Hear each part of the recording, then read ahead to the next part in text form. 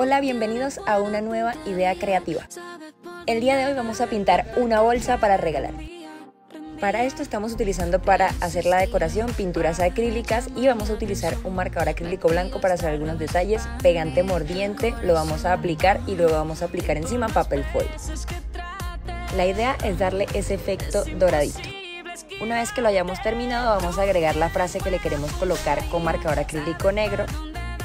Agregamos los últimos punticos para decorar y este ha sido el resultado, espero que te haya gustado esta idea.